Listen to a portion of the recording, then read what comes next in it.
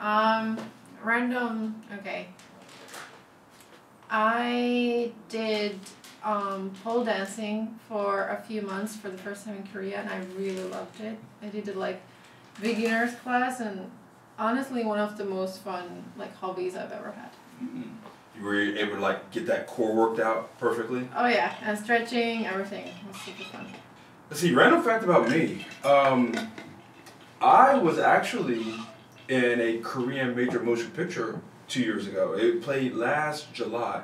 Uh, in Korean, they called it Saja, but um, in uh, in English they call it the Great Divine. Oh. And about from where I'm sitting at, and um, I guess to where that light is, I was about that close to the main actor, and I didn't know it. I said, "Wow, this dude is kind of short, but he has some good swagger to him." Uh-huh. But um, they called me up. They were like, "Say, hey, we need a black guy to come in, right, and just walk across." And you can see me in the movie, Mhm. right? I'm just, I, it's like I, I got a funky walk, Mhm. right? So I'm just kind of walking, do my whole pimp gangster walk in the movie. You can see my big old head, but you can't see my face. You can see my head. Cool.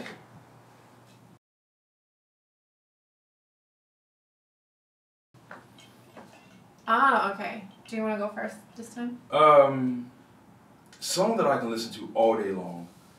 So there's a hip hop duo that's out. They're called Little Brother. Okay. And um, first time I heard them was in 2005. The, the members at the time were Big Pooh, Phonte, and Ninth Wonder, but now it's just Big Pooh and Phonte. Okay. But um, the one, the first time I heard them, it was a song they did called "We Got Now," Mm-hmm. and I heard this song, gosh, 15 years ago now, and to this day I listen to it uh, at least once a month, just just to get me in the mood, because it's a really good pump up song, and it's nothing like you hear in other songs that's supposed to pump you up. They just tell a lot of truths in it, but the way the way the beat flows and then the way the lyrics go along with it makes you go, oh yeah, that's right, I got this, I got now. I'm gonna do this right now. Mm, So that's one song I can listen to. sounds good.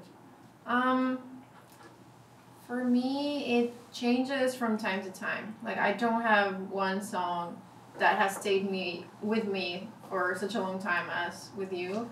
But these days, I can't stop listening to Doja Cat's "Say So." I don't know. It's I I don't know. It's famous from TikTok, I guess, but um, I just found it recently and has a good beat, fun lyrics. I really like Doja Cat, so that's Hmm. the song. Did you uh, sing? Did you uh, listen to the song that made her viral? That video? Is it the move? Yep. Oh, I watched. I, I watched the video once, and I was like, if this had been the first thing that I saw from her, I would not probably check any of her work after that. it's so weird. But yeah, uh, It's kind of crazy how something so stupid and crazy just blew her up yeah. like that. So that's that's great.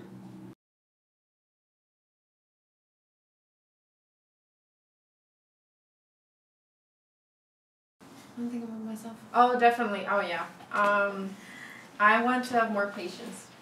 I'm one of the most impatient people in the world, I guess. I get frustrated in Seoul all the time because people are walking super slowly, and whenever I have to wait for something, it's it's really it's just painful for me. So I, I, I wish I would have more patience. For me, it will be knowing when to shut up. I talk way too doggone much. Like sometimes I know a lot of things, and I just want to say it out there, but I talk way too much. My mom always says to me, "Well, Sean, you should be a lawyer. You like to talk and argue a lot." And I've considered it, but I, I just got to realize, Sean, just shut up, and just just not let it get out there.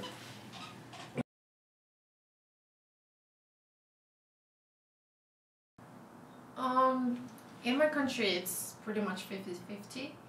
And when I came here and I went on some dates with Korean guys and they wanted to pay for everything, I felt, honestly, I felt uncomfortable. I was not used to that and I felt like kind of burdensome that I'm gonna owe them something. But now I think I have adjusted to Korean dating culture a little bit more and now I think that it's just whatever is comfortable for the Mm. couple and depends on like what stage of the relationship they are in So I guess you know here is the culture that the guys um, pay for at least a dinner. If you go on a dinner date, they pay for the dinner, and then the girl, if you go have coffee after that, then the girl pays for the coffee. And I think that's it's an okay ratio at that point. Um, with me, the way the way I see it is, if I'm going out with a lady, Mm-hmm. we're going we're going Dutch. That's that's that's happening. Yeah. Because it's like I don't pay for my friends. Mm. You know, if, if we're dating, if we've known each other for a good while and we're dating, yeah, sure, sure, sure. You know, I'll be the man and take care of it. But especially if I'm if I'm if I'm first meeting her Yeah. or even on a second date or whatever, I'm not paying for I'm not paying for her. All right, she she's got she's got money. Sure, fine, we can do that. But I've learned my all the mistakes that I've made growing up, and uh, I realized, oh yeah, sure, let me pay for you. Uh, let me pay for you and everything. Let me do all the things. And bam, she go off and go dating somebody else. I'm just like, uh, uh nope, okay, no.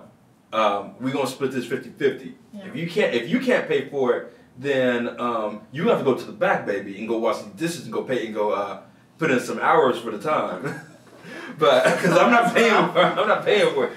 But but seriously though, um, I um, I make that I make that clear before we go off and say, hey, look, we're gonna do we're gonna do 50-50 on this. All right. Mm. If she's cool, cool. If she's not, oh well. Right.